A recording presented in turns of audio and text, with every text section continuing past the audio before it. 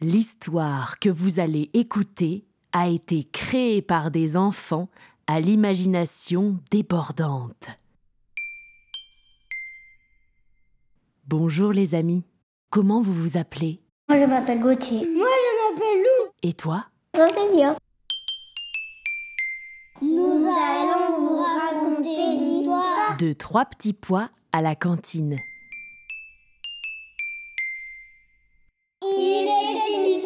La sonnerie de midi sonne enfin, et trois copains se retrouvent pour aller manger ensemble à la cantine. Il y a le loup, Bonjour, je m'appelle le loup. la petite poule rousse Bonjour, je m'appelle la petite poule rousse. et le tigre. Ils sont tous les trois affamés et ils ont hâte de dévorer leur plat préféré. Mais qu'est-ce que nous a préparé aujourd'hui? Madame la dame de la cantine se demande-t-il. Aujourd'hui, ces petits pois.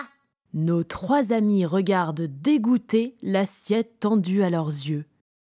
Ils y voient trois petits pois, tout mous et tout rabougris, C'est nul les petits pois. s'exclame-t-il en manger. Le tigre propose. Moi j'aimerais bien manger la dame de la cantine. Mais non, tigre, enfin Tu ne vas pas manger Madame la Dame de la cantine C'est vrai qu'ils ne font pas très envie, ces trois petits pois. La petite poule rousse acquiesce.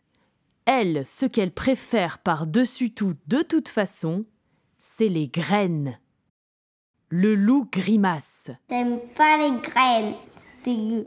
Tigre et loup, eux, ce qu'ils aimeraient, c'est un gros steak à la place de leurs petits pois. Petite poule rousse leur dit Mais c'est dégueu le steak. Mais alors, qu'est-ce que c'est notre plat préféré à tous les trois?